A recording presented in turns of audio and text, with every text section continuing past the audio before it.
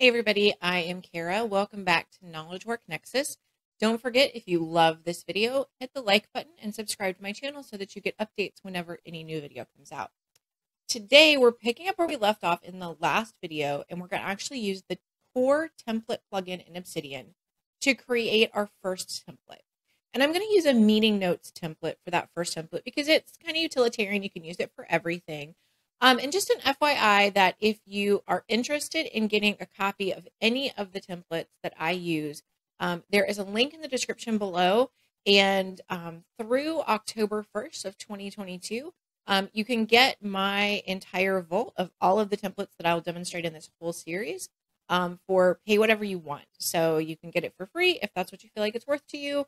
Um, or you can be super generous and give me $10 or $20 or whatever um, through October 1st of 2022. It'll be available at that cost, and then I'll probably put just a standard price tag on it. But the link is in the description below, so be sure to check that out. So we're going to create our first template, and the way that you create a template is really simple.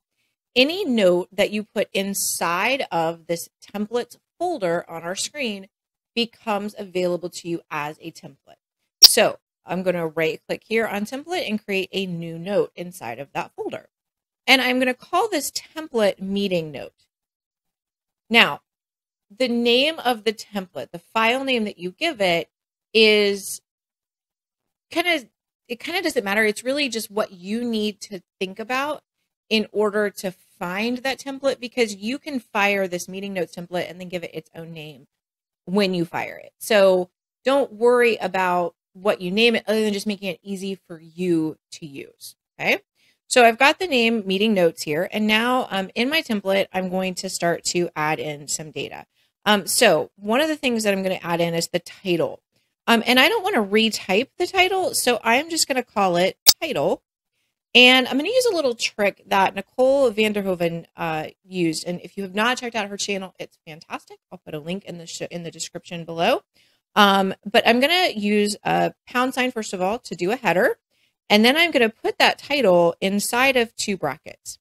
And the reason for that is that if you ever change the name of the file here um, after you fired that note, you'll get prompted to actually change the name of the title in the file as well, which is a really, really valuable benefit, um, in my opinion.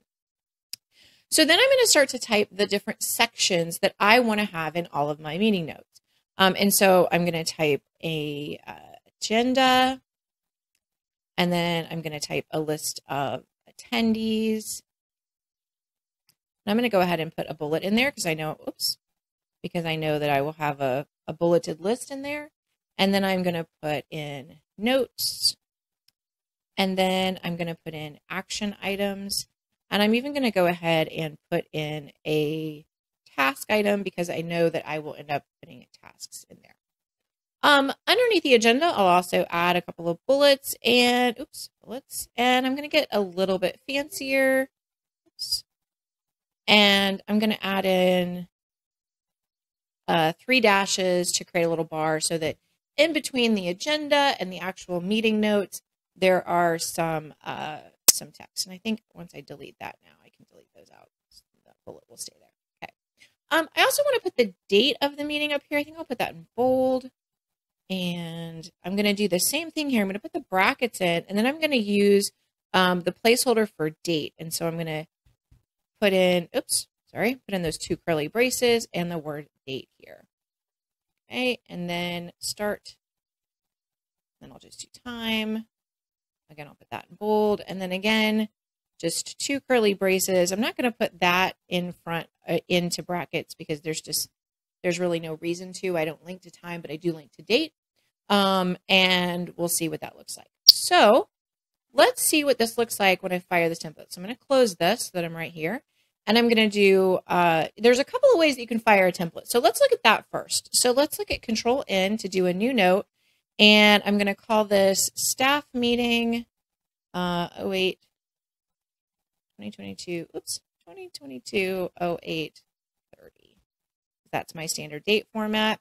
Um, and then I'm going to open the, com- the control P, the command module, and I'm going to do templates. and you'll get this templates insert template. Now remember, right now we only have one template created, our meeting notes template. So if I do this insert template, it's automatically going to insert that template because there's no choice for me to make. There we go. My staff meeting is in there. Notice that this automatically connects back to a daily note template with that date on it.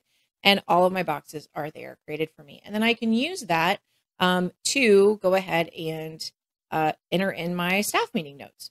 Super simple.